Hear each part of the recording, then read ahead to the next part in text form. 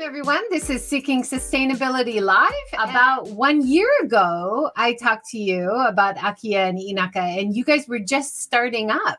So it's Yeah. great to have you on now again and catch up on your year. Inaka brand um, as of now, and I, I totally foresee it kind of staying on this trajectory, is is very much about kind of the benefits, added value, bonuses that you can add to kind of city life without being necessarily like stuck in the city, right? It's just um, you know you can do the Tokyo thing and then also have this, that, and the other, or you know, big city thing, and then also have the the kind of accompanying uh, experience. Year. How has the year been for Akiya and Inaka and helping international people find great abandoned places? We're going to talk about the the wide definition of akiya in a minute.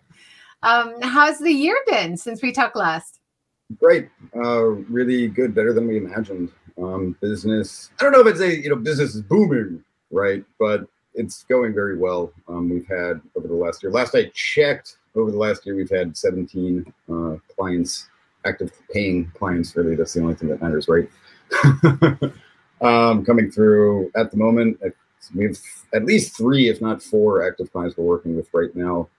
Uh, in uh, Kansai, in Nagano, across Kansai, Nagano, Chiba. I think those are the three kind of areas that we're working in right now. I'd have to check. Um, yeah, it's going great, but I mean, really, the it, it's been a, an excellent learning experience, right? Um, and we've learned a lot about ourselves and Inaka and business and all of this stuff. I think one of the biggest learnings that we've had, though, is not that we went into this with like hardcore real estate, real estate. Let's, you know, we're into that.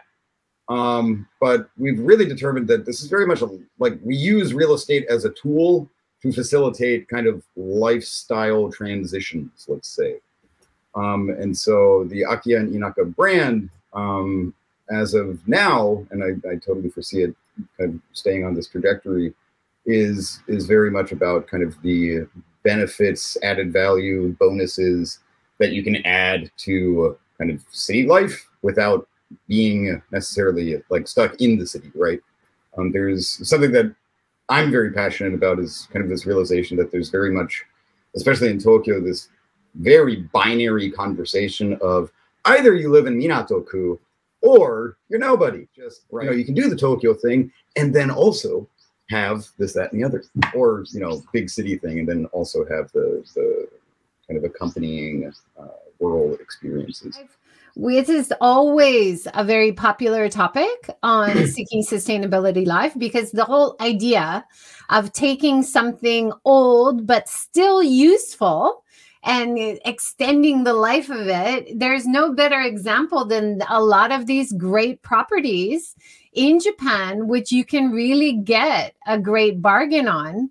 Um, and remodel and refurbish, restore. And I noticed recently on your website and on your social media, you're also talking about renovation and the the hurdles for remodeling. So after you buy something, how to make it even more suited to your needs, right? Right, right. Um, let me go back to what you started that statement out with, which is basically sustainability, right? Um, that's also a huge factor in all of this. Um, the, I mean, I, I won't completely lambast new builds and. You know, if you want to do it and you do it well and you've got the money, okay, fine.